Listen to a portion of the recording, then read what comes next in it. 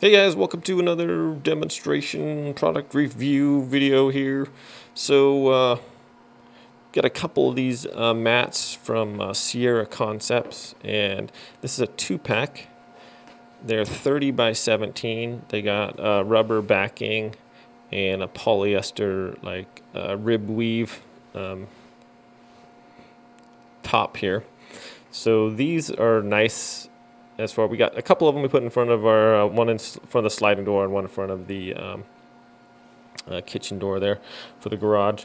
But anyways, these lay flat nicely and uh, they don't really move around because of the rubber backing holds pretty good. Uh, one thing though, I have concrete floors so you can see in the background there and it's got an acrylic uh, top coating I put over that, but some, for some reason when I put this down, it was like sticking to the acrylic. I don't know if that was just kind of a weird thing. So we put this on top of another mat, but it was like actually bonding to the acrylic, which is kind of weird.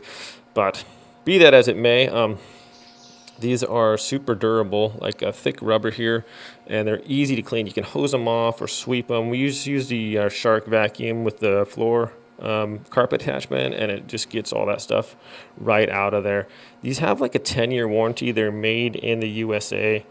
What is it? Uh, Sierra Concepts entry floor mat. So I'm um, pretty happy with that. We did get this kind because we had one on our front porch and it's been, well, you, you got to be kidding me.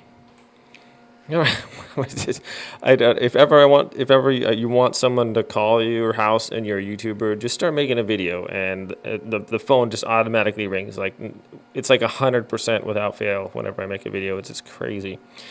Sorry about that. Anyways, so these are cool um, mats. Uh,